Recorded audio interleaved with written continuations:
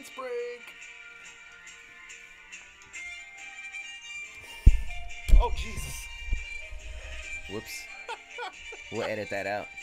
Just so you know, everybody, Paul just sucker punched his microphone. I did. I was. I got too- dance crazy. Hello. Hello, is this Dan? Yeah, it is Dan. Hey Dan, this is Paul, Outsider Tackle Box radio show and podcast. We got Tommy here with me. Hey, what's going on, Dan? How you doing? How's it going, guys? It's Oh. going quite well. I just knocked over my mic because we were doing a dance break while calling you, What? and so Yeah. that is going to be in your, Yeah, unfortunately, in your intro. I got a little bit dance uh, See, we- happy we, we and knocked usually it over.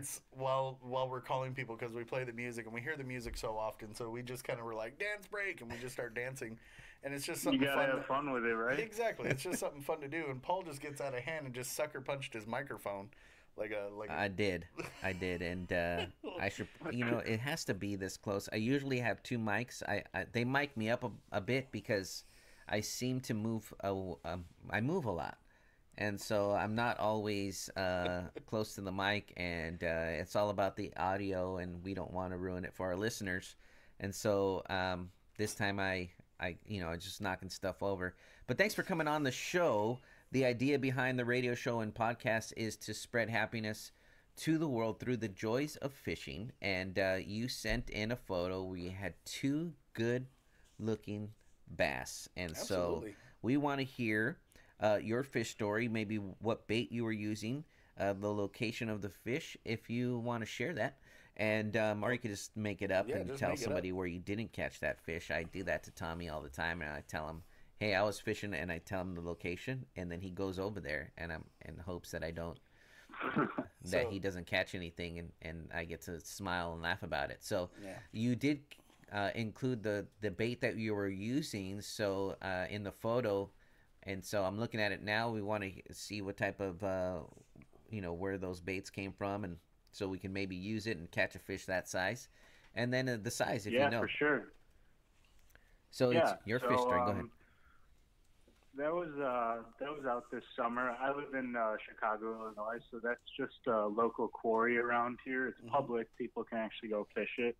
Um, it's out in Crystal Lake. Um, but yeah, it was really interesting. It was, I believe, it was around June, May, if I had to guess. Um, I was out with a buddy who hadn't been fishing in a while, and I wanted to get him on some, and I knew that was a good spot. Mhm, Um, we saw him busting around this island on top water. mhm. So I tied on, I believe the first one I tied on, I have to double check. I believe it was the gunfish, um, Lucky Craft, Lucky Craft gunfish. Mhm. Uh, just a walking bait, top water. Instantly hooked up. Um, and right when I set the hook, it snapped at the tip of my rod for whatever reason. I was using probably 20 pound braid Mhm. um, but just clean snapped at the tip of my rod.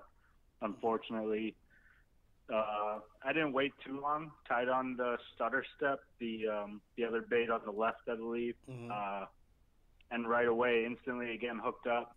They were just on biting, and the second I got that fish in, I noticed there was a bunch of line wrapped around. I wasn't sure if it was from that fish itself or the previous one, and when I grabbed it, I ended up grabbing the fish by the mouth and had some line in my hand, and I could feel shaking still, even though the fish wasn't shaking.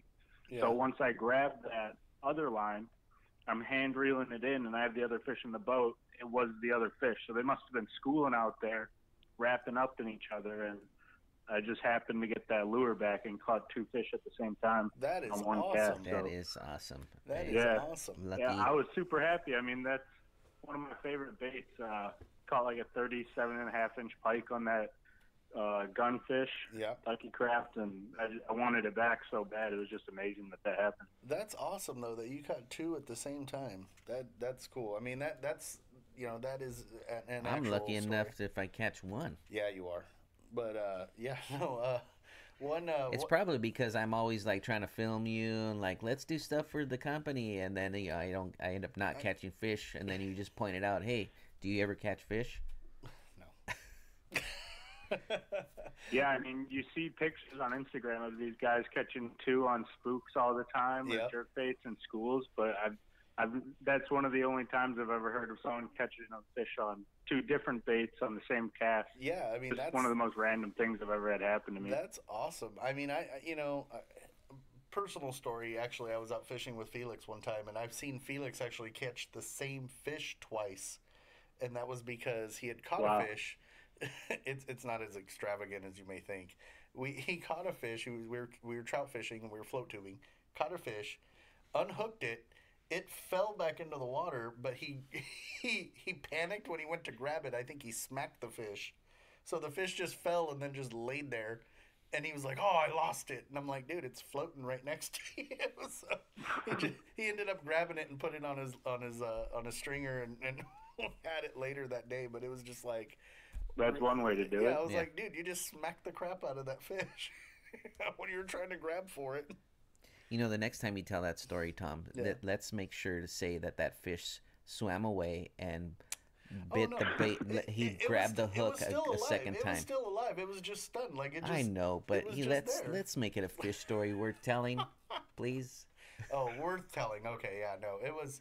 You forget who you're talking to. No, We're I'm just- kidding. It was a good story, almost. It was almost there. Did it for me. I was listening. Yeah, no, we we we we're just you know like like you've said before, we're just all a bunch of idiots. Everybody that runs this company is just a bunch of idiots. Well, I can't. I can't say you are. I I would never include just one person, so I include me in it. Oh, gotcha. Yeah, it's not that I want to include me. I just you know sometimes Oh, I. you just feel it feels better if you like. It's it's a management thing. out. You don't single people out. You include the group. You say things as a group. see That's how I you get it. treated here, Dan. This is ridiculous. We love the photos, Dan. We love that you caught two fish. That and uh, awesome. thanks for coming on the show. We we uh, we were supposed to have you on before. We know you're busy, and so Yeah. thanks for coming back on. Uh, your your photo still gets uh, um, engagement, and so Tommy's looking at how many people have seen your photo. So that's a good photo. Got you on the show. Please continue to send it in and come back. Uh, you're welcome to come back anytime you have a Absolutely. fish story you want to tell. We know it's a little bit, uh, you know, the weather it's is a cold, little cold over there right now. We know. and but uh, yeah, I'm you ha- looking to get on some ice today, hopefully. There you go.